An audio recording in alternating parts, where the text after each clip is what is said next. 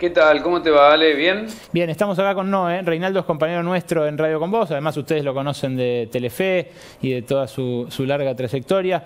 Rey, ¿vos crees que está en riesgo la libertad de, expresión en Argentina?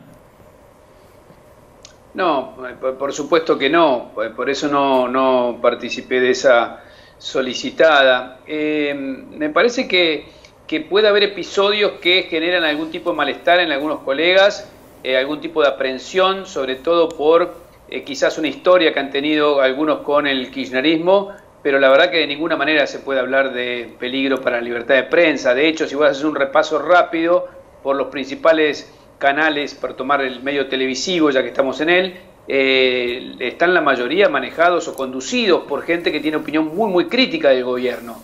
Y la verdad que eso está bien, no está bien ni está mal.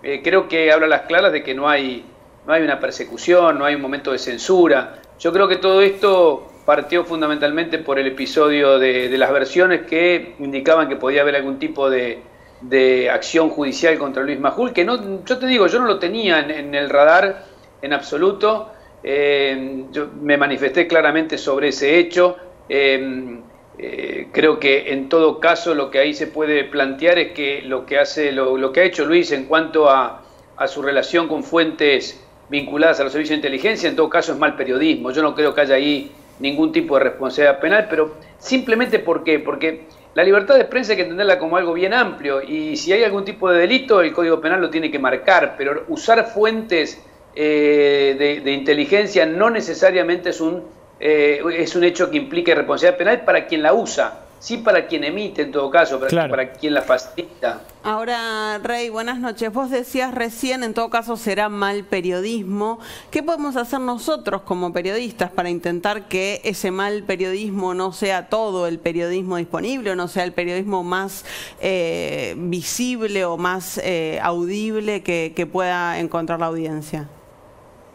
Mira, yo hace años que, que batallo bastante por este tema he escrito bastante. Yo creo que a partir del 2008, cuando se recrudeció el enfrentamiento entre el grupo Clarín y el gobierno en aquel entonces por la 125, después por la ley de servicios audiovisuales, eh, se generó una suerte de clima de guerra, de, enfrentamiento permanente, y ese, ese enfrentamiento, como suele pasar en las guerras, hizo que la primera víctima sea la verdad. Mm. Eh, creo que de, un lado y de otro eh, se empezó a plantear eh, la información no, no en base a fuentes chequeadas, no en base a, la precisión, sino a ver cómo esa información afectaba al otro. Y, esa lógica hizo que se degradaran muchísimo los productos, los productos periodísticos. Y esto no es para equiparar eh, el gobierno con un gran grupo de medios, en este caso como era Clarín, como es Clarín, eh, sino porque me parece que en el medio estamos nosotros, estamos los profesionales.